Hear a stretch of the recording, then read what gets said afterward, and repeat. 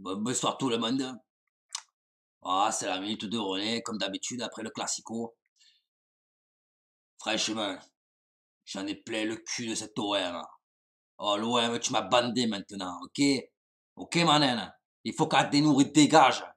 Franchement, et je remercie, je remercie Mandanda, qui a fait des putains d'arrêts de fou. J'en ai plein le cul, putain. Là, je vais prendre un pastis pour me remonter un peu le moral, parce que franchement, il y en a marre. Voilà. Il y a des gains sur le terrain, j'en ai marre. Voilà. Salut à tous, comment allez-vous? Bienvenue sur la chaîne de Sam Movie Show. Alors, avant de commencer euh, à parler de quoi que ce soit, euh, je tenais à dire que, euh, voilà, je ne me foutais pas de la gueule de René. René, je t'adore. Franchement, continue tes vidéos et à nous régaler comme ça après chaque match, hein, après chaque défaite hein, de l'OM, malheureusement. Hein, c'est un petit peu la routine maintenant. En tout cas, continue comme tu le fais. Bon, en même temps, il y a très peu de chances qu'ils voient cette vidéo aussi. Non, mais faut, faut, faut, faut être réaliste deux minutes. Donc, comme vous l'avez compris au titre de la vidéo et à la miniature, on va parler de quelque chose dont j'ai absolument jamais parlé, que ce soit sur ma chaîne principale ou sur cette chaîne-là. On va parler de foot. Voilà, et pas de n'importe quoi, parce que là, c'est quand même le classico OM-PSG. Alors, pour tous ceux qui se posent la question, je suis fan de l'OM. Voilà. Donc, attendez, attendez. Je vous, entends déjà hurler derrière vos écrans. Non, je ne vais pas insulter Paris. Voilà. C'est pas le but de la vidéo. Bien au contraire. Euh, je vais essayer d'exposer un petit peu mon avis sur ce que je pense euh, des classicos d'aujourd'hui et sur ce que je pense en règle générale du foot et, euh, de Paris. Hein, Paris qui est Paris voilà. Alors concrètement par rapport aux classicos, j'en attendais pas grand chose. Non, franchement, j'attendais rien de ce classico. D'ailleurs, je crois qu'il est bon de rappeler que euh, les classicos aujourd'hui, ça n'existe pas quoi. Alors, à la limite, si. T'as encore, t'as, toujours celui de Lyon et de Saint-Etienne, bon, qui encore euh, sur des équipes qui se valent, donc euh, ça peut encore vouloir dire quelque chose. Mais honnêtement, au MPG aujourd'hui, il n'y a pas de classico, les gars. Il n'y a, a, même pas de classico à avoir. Il n'y a même pas de débat à avoir par rapport à ça. Je veux dire, t'as Paris là, t'as Marseille là. Mais c'est même pas que question de Marseille, c'est que t'as Paris là, et t'as tous les clubs de Ligue 1 là. Tu vois, il n'y a personne qui peut rivaliser avec Paris au jour d'aujourd'hui. Il faut, faut, être réaliste deux minutes. Et, Marseille, au jour d'aujourd'hui, voilà, ils peuvent pas faire grand chose, les gars. Alors après, est-ce que c'est de là à dire que c'est des chèvres qui valent rien, etc. Comme j'ai pu voir euh, certains supporters parisiens se déchaîner dans les commentaires des vidéos après, leur victoire. Je comprends que vous soyez content d'avoir gagné. Euh, redescendez un petit peu de votre étage, les gars. Parce que bon, euh, Marseille, ok, vous avez, ils ont perdu contre Paris, c'est sûr. Mais en dehors de ça, si tu enlèves les matchs contre Paris, ben Marseille, ils n'ont pas de quoi rougir au final en Ligue 1. Parce que des matchs, ils en gagnent quelques-uns quand même. Euh, des grosses victoires, on en a fait aussi quelques-unes, hein, des, 4 buts, des 5 buts et tout dans les matchs. Euh, des, matchs à, des matchs à 4 ou 5 buts euh, pour, pour l'OM, il y en a eu. Hein. Hein, je crois qu'il faudra un petit peu regarder les stats. Et puis surtout, surtout les gars, prenez en compte que Marseille aujourd'hui, ils sont troisième championnat. Et ils ont la possibilité de jouer la deuxième place avec Monaco. Donc honnêtement, Autant on peut les critiquer sur des matchs comme ça contre Paris parce que c'est vrai qu'ils se battent pas vraiment. Il hein, n'y a rien qui fait rêver dans, leur façon de jouer contre de, jouer leur match contre Paris. Mais en dehors de ça, il n'y a pas non plus de quoi critiquer. Je pense qu'en tant que supporter de l'OM, qui aurait dit au début du, euh, championnat, quoi, en, septembre, là, enfin en mois d'août, que Marseille aujourd'hui serait dans le top 3, serait sur le podium. Quand tu vois la gueule des recrues, s'il te plaît, non, parce que là, il faut. Il faut... Est-ce qu'on peut en parler 30 secondes des recrues, quoi? À un moment donné, il va falloir qu'on en parle. Parce que quand on te dit. Euh, quand on t'annonce des joueurs. Parce qu'on parle de champion de project, hein, euh, donc on reste dans le cadre du champion de project. On t'annonce des joueurs comme. Euh, allez, Giroud, Griezmann, Koscielny. Bon, pour ne citer que ceux-là, hein, parce que c'est ceux de l'équipe de France. Et qu'à la fin, on te dit Bon, eh ben les collègues, attention, hein, là je vous ai trouvé une pépite, un attaquant de folie classe internationale, Mitroglou. Mitroglou, s'il te plaît, on dirait une marque d'autres sources, quoi. Bonjour, je vais prendre une bouteille de Vitel et une bouteille de Mitroglou, s'il vous plaît.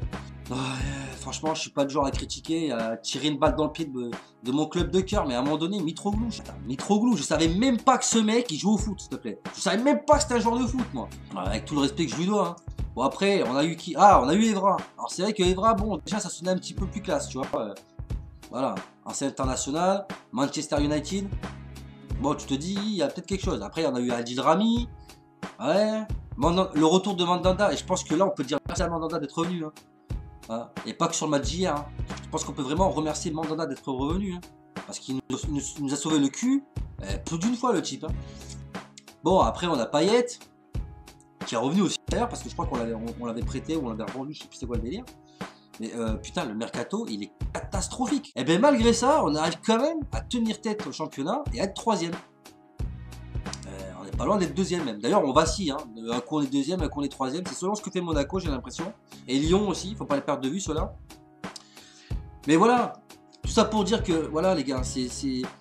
J'ai pas envie de, de, débattre pendant 150 ans sur ce match, mais c'est juste essayer d'apaiser un peu les esprits, de calmer un peu les tensions. Il faut que l'OM de votre côté il faut que l'OM, de notre côté, euh, on prenne conscience que de toute manière, c'est pas la peine de s'énerver. On ne peut pas rivaliser contre Paris. Voilà, il n'y a rien à faire.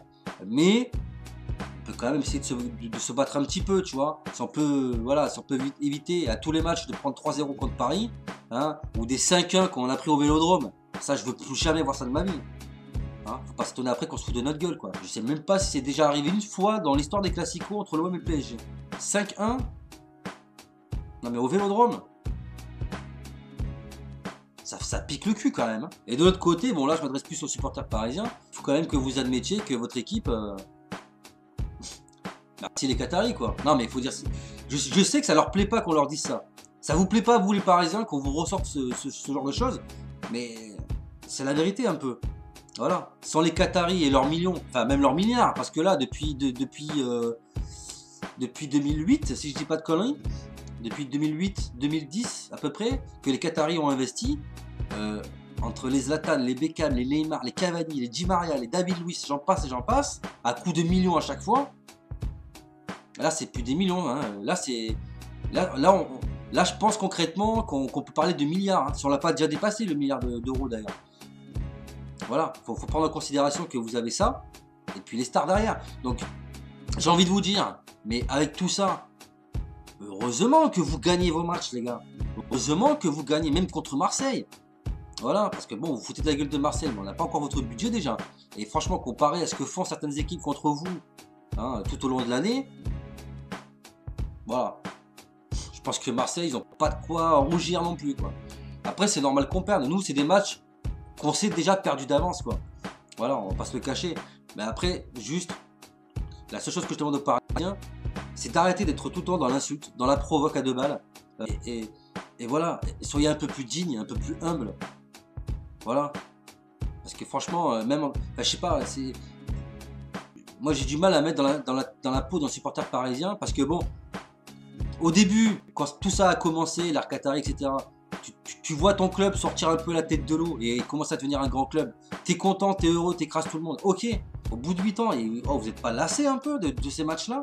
Ça vous fait rêver ces matchs-là, ces victoires-là contre, des, 4-5-0 tous les dimanches, des, clubs comme, Strasbourg ou Créteil ou je sais pas quoi là, des, clubs euh, euh, dont le budget est équivalent euh, à ce que vous, avez dépensé pour acheter Neymar? je veux dire, il n'y a pas de quoi être fier quoi. Et moi, c'est ça qui me fait halluciner dans les commentaires des Parisiens sur les vidéos. T'as l'impression que les mecs ils sont fiers à chaque match, comme comme si à chaque match ils jouaient contre le Barça ou le Real. Alors que non, hein, oh, c'est les clubs que vous avez en face de vous, c'est pas la même gars. Alors moi je fais souvent ce, alors moi je fais souvent cette comparaison entre, entre le foot et la, course automobile, tu vois, parce que c'est un petit peu la même chose, tu vois. Euh, je sais pas si, par exemple vous prenez d'un côté, euh, c'est un petit peu comme si tu, faisais une course de voiture, tu vois, et que d'un côté euh, tu faisais la course avec une Ferrari, tu vois, et que de l'autre côté tu avais, je sais pas moi, une Renault 5. Bon, euh, on va pas se mentir, hein, à l'arrivée, euh, on sait déjà à peu près qui c'est qui va, l'emporter, tu vois. Bah là, c'est un peu pareil, quoi. Il n'y a personne qui peut rivaliser. Bah, il n'y a pas le budget, il n'y a, pas, a pas les joueurs, il n'y a, pas tout ça. Donc voilà, je pense que je qu'un club comme, comme, Paris, il serait délocalisé en Espagne ou en Angleterre, euh, ça serait pas la même histoire. Alors moi, mon rêve, c'est même pas mon rêve, mais ce que je trouverais euh, logique, et je comprends pas que ça n'a pas été fait avant, c'est que bah, il y a vraiment des vrais investisseurs qui viennent en France investir dans d'autres clubs que Paris. Voilà, histoire que déjà il y a une vraie compétition. Parce que là, la compétition, il n'y en a aucune. C'est-à-dire, chaque année, Paris, euh, on sait déjà qu'ils sont champions, et nous, limite, euh, tu vois, il faudrait limite créer euh, deux Ligue 1 dans la Ligue 1, tu vois. Hein, bon, celle de base, voilà, on donne le trophée à Paris, allez jouer avec ça plus loin là-bas, tu vois. Et puis, laissez-nous la Ligue 1, la Ligue 1 bis, tu vois. pour que nous on puisse avoir un vrai championnat, tu vois. Non, mais on en est limite là, tu vois. Et, c'est vrai que moi je voudrais que bah, qu'il y ait de l'argent investi, pas forcément qu'à l'OM, hein, mais aussi à Lyon et à Monaco, tu vois. Comme ça, on aurait quatre gros clubs en France, quatre gros clubs qui seraient susceptibles de jouer la Ligue des Champions, voire peut-être d'aller loin en Ligue des Champions et de la gagner. Et, euh, puis, bon, bah, même en tant que fan de foot, tu aurais envie de regarder la Ligue 1 euh, chaque année, quoi. Là, honnêtement, il euh, n'y a rien qui fait rêver dans la Ligue 1. Si t'enlèves Paris, la Ligue 1, c'est nada, c'est zéro. Hein. bref, voilà, je voulais juste apporter mon ma petite analyse, hein, mon, petit grain de sel dans ce classico quand même. Bon, la seule, chose qu'on peut noter, bah, c'est que Paris a encore gagné. Hein, ça, il fallait s'y attendre. Voilà, après, je suis pas, je suis pas vraiment un gros expert du foot. Voilà, je vous donne mon avis en tant que, fan surtout. Et, voilà, moi, je, le foot, ça fait longtemps que je regarde. Et j'ai toujours été fan de l'OM. Mais bon, moi, j'ai connu les OM euh, des années 90, tu vois. Où là, les classicos, ça voulait dire quelque chose. Parce que à Paris et à l'OM, tu avais deux gros clubs. Et chaque année, ça se battait pour, euh, pour savoir qui allait gagner, qui allait premier, qui allait être deuxième, tu vois. Et aujourd'hui, c'est plus le cas. Et puis bon, en Ligue des Champions, bah, les deux faisaient des parcours assez, assez, assez beaux, quoi, faut être honnête. Après, bon, c'est vrai, regarde, euh, Paris, t'investis dedans parce que c'est le club de la capitale, c'est tout à fait normal et je comprends même pas que ça n'a pas été fait avant, tu vois. Et puis ben, derrière, t'as quand même l'OM. L'OM, c'est quand même un club de légende. Hein. On a beau ne pas être supporter de l'OM, faut quand même reconnaître les choses. L'OM, c'est quand même un club qui est reconnu, d'accord qui a, attiré beaucoup de stars et surtout, euh, c'est le seul club en France à avoir gagné la Ligue des Champions, faut pas l'oublier. Après, derrière, tu as, Lyon qui, sans le budget des Qataris, ont quand même été 7 fois de suite champion de France à une certaine époque. Hein, je vais pas vous rappeler les, faits quand même. Euh, et puis ils ont quand même malmené le Real Madrid de Zidane et compagnie à l'époque. Hein. Il faut pas l'oublier ça aussi. Bah, Monaco quoi. Monaco qui est, quand même, qui est quand même un grand club, qui a eu une grande époque aussi, et euh, d'où sont sortis des joueurs comme euh, Emmanuel Petit, euh, Trezeguet, Thierry Henry et compagnie. Donc moi c'est mon avis. Alors peut-être que j'ai tort, hein, j'en sais rien. Dites-moi dans les commentaires de la vidéo ce que vous, vous en pensez. Alors, je sais que c'est une vidéo qui va beaucoup diviser parce qu'il y aura de côté les fans de l'OM, de l'autre côté les fans du PSG. Donc voilà, après ça reste mon avis personnel. Je suis pas là euh, pour faire une vidéo euh, dans laquelle je vais insulter Paris ou insulter Marseille. C'est pas du tout l'objectif.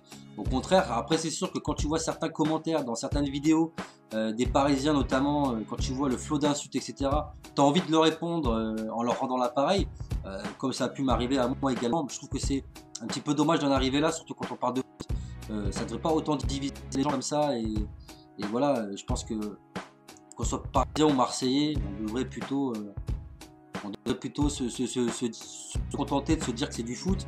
Après, il y a quand même certaines inégalités, il faut quand même le reconnaître également, que, que les Parisiens, malgré, euh, malgré tout ce qu'ils peuvent dire, savent quand même au fond d'eux que bon, bah, le combat est inégal, peu importe le club qu'ils ont en face d'eux, en, termes de, de, club en Ligue 1 en tout cas. Après, moi, ce que je trouve vraiment dommage dans tout ça, c'est que les investisseurs euh, investissent que à Paris et pas dans d'autres clubs en France. Je pense que c'est quelque chose qui pourrait donner euh, un peu plus de, rêve voilà, euh, aux fans de foot en France d'avoir d'autres clubs que Paris qui, qui aient du budget et des, gros joueurs dans leur club. Et puis même la Ligue 1 serait un peu plus belle et intéressante à regarder, mais pas forcément que en France, hein, même dans les pays européens ou étrangers, parce que pour l'instant, il faut, être honnête, à part, Paris, euh, la Ligue 1, ça fait pas rêver grand monde. Hein. Donc voilà, après c'est mon avis personnel. Euh, je veux pas faire une trop long parce que de toute façon, déjà d'une part, je ne suis pas, euh, je ne suis pas habitué à faire ce genre de vidéo, donc je sais pas trop comment amener ça. Je vous donne mon avis à moi en tant que, fan. Après, je suis pas non plus un, expert de foot. Hein. Ce que je dis dans cette vidéo ne, concerne que moi et, c'est un avis personnel. Donc le prenez pas à votre compte, ne le prenez pas pour vous. C'est juste mon avis. Après, je vous laisse libre à vous d'en débattre dans les commentaires de la vidéo tant que ceux-ci sont constructifs. Je tiens à dire que je ne tolérerai aucun message d'insulte. Ceux-ci seront, et que ce soit de la part des Marseillais ou des Parisiens qui mettront leurs commentaires dans cette vidéo, ceux-ci seront euh, immédiatement bien sûr supprimés parce que c'est pas du tout le but de cette vidéo. Le but, le but de cette vidéo, c'est surtout de, vous rassembler, vous, Marseillais et Parisiens, pour, euh, pour débattre tout simplement et, ensemble trouver des solutions. Qui sait? Moi, je pense que les Parisiens, les vrais supporters parisiens, les vrais ont autant envie que les Marseillais d'avoir un grand club à Marseille. Déjà parce que voilà, les classicos ne font plus rêver depuis de nombreuses années et que je pense que quand tu es parisien, tu as envie d'affronter un OM de ce nom, tu vois. Un grand OM avec des vrais joueurs, tu vois, qui sont capables de rivaliser avec ton propre club et d'avoir des, matchs où ça claque, tu vois. Là, il n'y a rien qui fait rêver, il n'y a rien qui donne envie. Je pense que pareil, quand ils vont voir euh, leur club jouer contre l'OM, ils se disent, tiens, euh, on va jouer contre Guingamp, tu vois. Non, mais c'est, on en est limite à ce niveau-là, tu vois, avec tout le respect que j'ai pour l'OM. Et j'espère vraiment que, que les. Euh, que les investisseurs euh, à Marseille vont un peu se bouger le cul, se réveiller et nous l'offrir ce champion de projet qui nous, qui, nous, qui nous font miroiter depuis quelques mois maintenant. Voilà. Donnez-nous des vrais joueurs, donnez-nous une vraie équipe. Et l'équipe qui est actuellement, bah, continuez, de vous, continuez de vous battre, c'est tout ce que je peux vous dire. Que pour l'instant vous êtes sur le podium. Et bah, peut-être que l'année prochaine, on sera en Ligue des Champions. Mais encore une fois, Ligue des Champions l'année prochaine avec cet effectif-là, comme dirait René, je me chie dessus quoi. Bref, je, dédicace cette vidéo à René Malville, euh, qui nous euh, régale chaque semaine euh, de ses analyses d'après-match. Voilà, donc s'il voit cette vidéo, je lui fais un gros big up et il continue de nous faire rêver comme ça. Bon, encore une fois, il y a très peu de chance qu'il voit cette vidéo. Bien entendu, voilà, je tiens également à m'excuser s'il y a des problèmes Alors pour la petite histoire, j'ai demandé au Qatari de me faire un petit chèque hein, pour m'acheter du matos. Pour l'instant, j'attends encore leur réponse. Hein. Je, sais pas. On verra. On verra. Euh, je vous tiendrai au courant, hein, bien évidemment, vous inquiétez pas. Bref, quant à nous, les amis, on va se quitter sur cette vidéo-là. Donc, dites-moi si ce concept de vidéo vous intéresse. Si ça vous. Si ça vous, ferait plaisir d'en voir un peu plus souvent, enfin un peu plus régulièrement sur la chaîne, à vous de me le dire. Je vous laisse débattre dans les commentaires de la vidéo. Je répondrai bien, entendu à vos commentaires autant que faire se peut. Quant à nous, on se retrouve très bientôt. Hein. Dès lundi, n'oubliez pas la réaction et la review de l'épisode 10 de la série de Walking Dead. Euh, il y aura bien sûr Stranger Things et Fear qui devrait arriver également. Et un petit top spécial année 90. Et je vous en dis pas plus. Hein. c'est la petite surprise, hein. je vous laisserai découvrir ça. Si la vidéo vous a plu les amis, n'hésitez pas à vous abonner à la chaîne si ce n'est pas déjà fait, partagez, la vidéo. Parlez un maximum de la chaîne autour de vous afin de la faire connaître et qu'on puisse atteindre cette barre des 1000 abonnés, c'est l'objectif euh, de, bah, de cette année. Voilà, euh, j'espère pouvoir y arriver d'ici la fin de l'année, hein, d'ici la fin de l'année 2018, essayer d'avoir atteint la barre des 1000 abonnés. Je pense que ça serait pas mal. Voilà, ça serait, ça serait une bonne chose pour moi. Euh, je compte sur vous hein, et, je remercie bien, entendu les personnes qui se sont déjà abonnées à la chaîne. N'oubliez pas que vous pouvez activer la cloche des notifications pour ne rater aucune prochaine sortie vidéo sur la chaîne. Et bien entendu, vous pouvez me suivre sur les réseaux. Facebook, Skype et Twitter. Voilà les amis, quant à nous, on se retrouve très prochainement pour de prochaines vidéos. D'ici là, portez-vous bien, prenez soin de vous et des autres. À la prochaine. Big up